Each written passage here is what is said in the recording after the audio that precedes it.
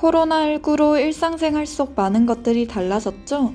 출근 대신 재택근무가 실시되고 비대면 서비스가 확산되었으며 웨비나가 세미나와 학회를 대체했습니다.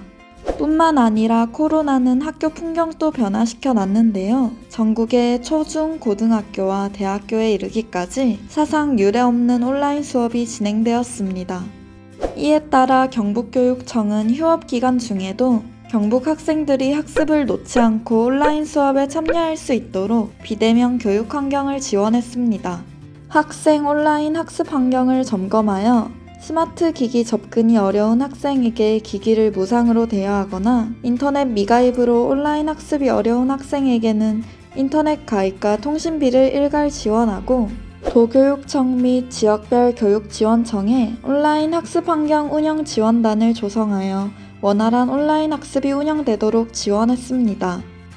또한 원활한 원격 수업을 위해 교사 1인당 원격 수업용 교원 노트북 한 대씩 보급, 경북 도내 초, 중, 고 특수학교 931교에 총 16,472대 노트북을 보급했으며 경북 지역 특색을 반영한 온택트 수업 가이드 방안을 배포, 실시간 쌍방향 수업 연수 콘텐츠를 공유하는 등 교사 역량 강화를 위해 지원을 점차 확대해 나갈 방침입니다.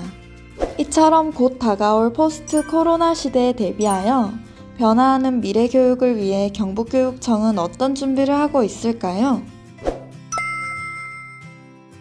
현재 원격 수업은 교실에 설치된 유선망이나 소형 무선 공유기를 사용하여 느린 속도와 불안정한 접속으로 원격 수업 진행에 있어 어려움을 겪고 있는데요. 내년 상반기까지 안정적인 온라인 수업을 위해 모든 초, 중, 고등학교 교실에 기가급 무선망을 구축해 완비할 계획이라고 합니다.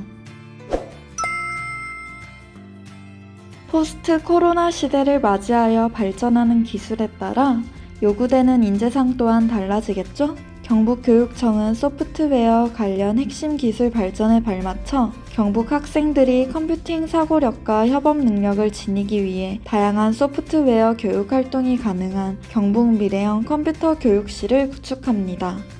경북 미래형 컴퓨터 교육실은 노트북, 태블릿 활용을 위한 무선 환경 구축, unplugged 모듬 활동이 가능한 이동식 책상, 의자 도입, 화면 터치 판서가 가능한 단초점 빔 프로젝터 구비 등 환경 개선과 장비 도입을 통해 교과 간 소프트웨어 융합 수업, 학생 활동 중심의 교육 활동, AI, machine learning 등 최신 핵심 기술 교육 컨텐츠 제공을 위한 공간으로 활용된다고 하네요.